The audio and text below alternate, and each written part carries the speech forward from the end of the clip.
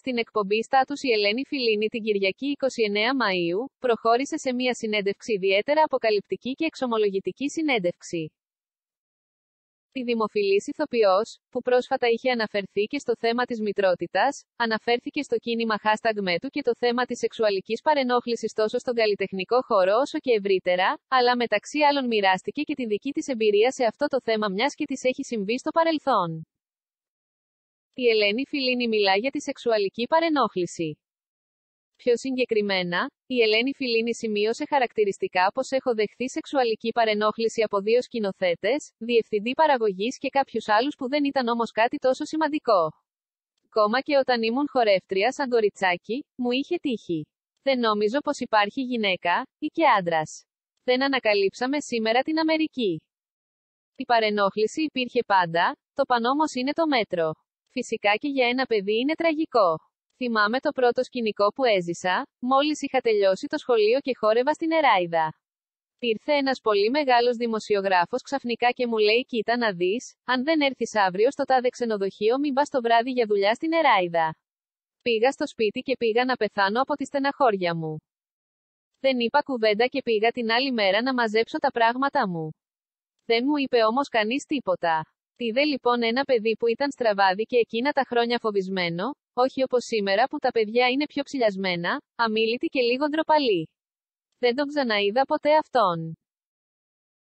Μετά από χρόνια έμαθα πως είχε καταστραφεί και ήταν πολιτή στο Παρίσι της Γαλλίας.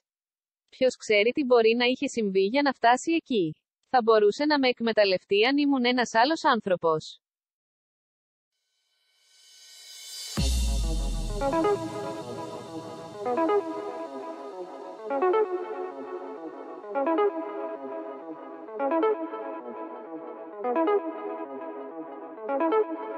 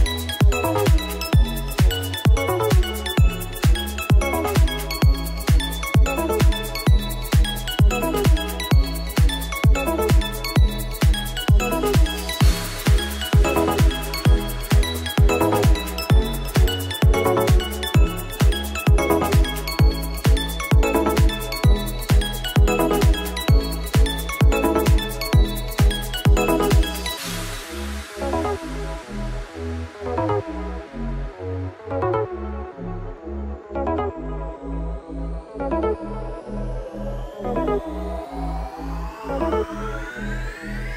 you.